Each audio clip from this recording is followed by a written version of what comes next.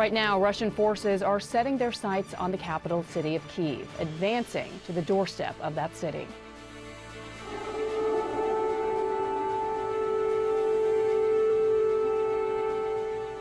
Sirens warning civilians in Kyiv as airstrikes approached overnight. Russian bombs destroying infrastructure north and south of the city, causing a massive fire at a warehouse. Satellite images show Russian artillery bombarding Kyiv. British defense officials say that the bulk of Russia's forces are now just 15 miles from the city center.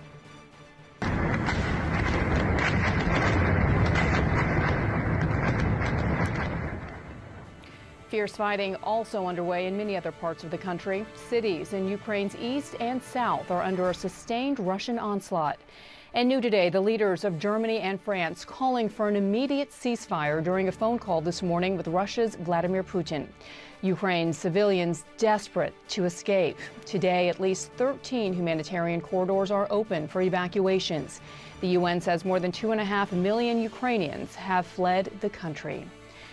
I want to turn now to Anderson Cooper anchoring our live coverage in, Le in Lviv, that's western Ukraine. And Anderson, as we are watching Russian troops encroach upon the capital city of Kyiv, it was chilling to hear Garry Kasparov in the last hour say that what we saw happen in Mariupol is just a preview, in his opinion, of what's going to happen in Kyiv. Yeah, and certainly a lot of people throughout Ukraine are watching what is happening in Mariupol, the, the sieging, the siege on that city, the, the flattening of, of neighborhoods uh, in some parts uh, of that city, uh, a city which is, uh, according to officials there, has really run out of supplies, uh, drinking water. It is a really a miserable scene, and again, a harbinger perhaps of what might happen in other cities. CNN Salma uh, Abdelaziz is here with me in, in Lviv. let's talk about a little bit, we heard this call from Macron and uh, German Chancellor Scholz uh, to Vladimir Putin calling for a ceasefire. The, uh, President Zelensky has recently uh, spoken about something like this. Yeah, some very positive signs from President Zelensky, who says we've stopped exchanging ultimatums with Russian, the Russian delegation, and we've started actually talking. I mean, that's a pretty key indication when you're looking at the last several days in Turkey, where it seemed like talks were stalling, where it seemed like there was no middle ground between the two sides. But here's the key thing: the same thing we're hearing from European leaders, which is that any negotiation negotiations must start with a ceasefire, and that's going to mean the guns have to fall silent.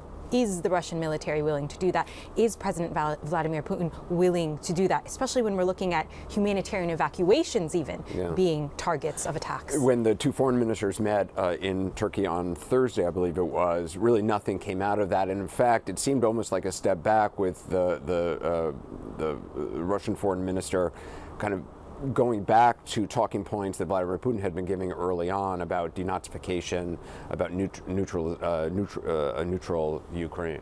I mean, what's going to be key here is what does President Putin want out of this, right? I think this is obviously an offensive that's astounded all of us, even in its scope and scale. I mean, one of the towns that was attacked yesterday is just 70 miles from the border with Poland. So we are talking about an offensive that's really reached far into Ukraine that, of course, has has its capital, uh, uh, Kyiv, under uh, major concern, under intense attack. So, what is the end goal here for President Putin? What is enough to end this? We know from President Zelensky's side, what he's offered, his olive branch, is the promise that Ukraine would remain a neutral country, that it would not join NATO, which is not on the table anyways. But there's going to have to be some back and forth. And it, look, the the Russian president does have a strategic goal here, and that is access to a warm water port. What does that access look like territorially yeah. when you're looking at the east of the country? Yeah, and whether that's acceptable to, to Ukrainians uh, at all, it's obviously uh, one of the major issues. So, uh, uh, uh Abdelaziz, I'm sorry. Okay. Thank you so much. Uh, we, uh, we are witnessing a, a, brutal onslaught of cities across the country, and that includes areas that had been largely spared from the, the bloodshed thus far. CNN's Matthew Chance uh, has more.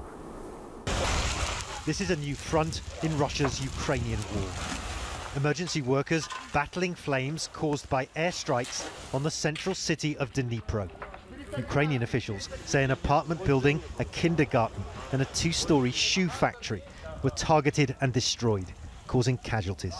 To the west, in the Ukrainian city of Lutsk, just 70 miles from NATO ally Poland, a strategic airfield also came under attack. With the invasion now in its third week, Russia appears to be widening its assault. And there are concerns of escalation too.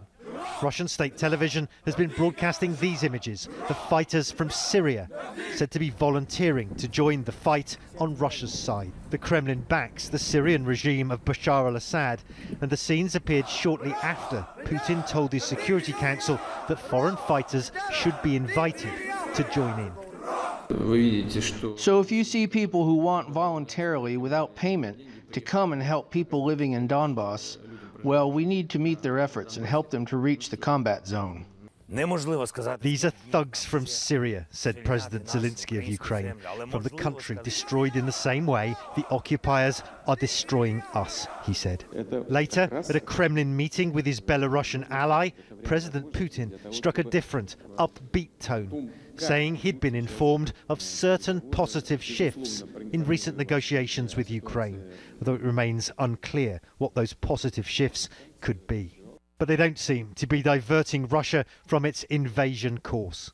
New satellite images suggest a massive Russian military column north of the capital, Kyiv, has now dispersed, with some elements repositioned into forests and countryside around the capital. And these are the latest images from the besieged Ukrainian town of Volnovakha in the country's southeast. Russian troops moving through the streets, which are now reported to be under their full control bit by bit, Ukraine, it seems, is being overrun. Matthew Chance, CNN, Kyiv. With us now is Halina Yanchenko. Mm -hmm. She's Deputy Majority Leader in Ukraine's parliament. She is in western Ukraine. Thanks so much for being with us. Russian forces have been widening uh, their strikes uh, now to western Ukraine with, with bombs and missiles. Um, why do you think they have hit the airfield in, in Luhansk? Uh, I think this is pretty clear. Uh, they are uh, trying to shell the infrastructure object. Uh, uh, uh, air air um, uh, air uh, related uh, infrastructure. So Ukraine has less infrastructure to to fight back but we still have uh, airports and we can use planes and we desperately need uh, more military planes to actually fight back with uh, fight back uh, with Russians in air. And uh, we like we really hope that we will receive more uh, more military aid including air defense, uh, both uh, anti-missile and uh, and military plane to protect our people. I should say that uh, actually Russian troops did not receive uh, any major uh, military successes, and that's why they have started a real terror in the land of Ukraine.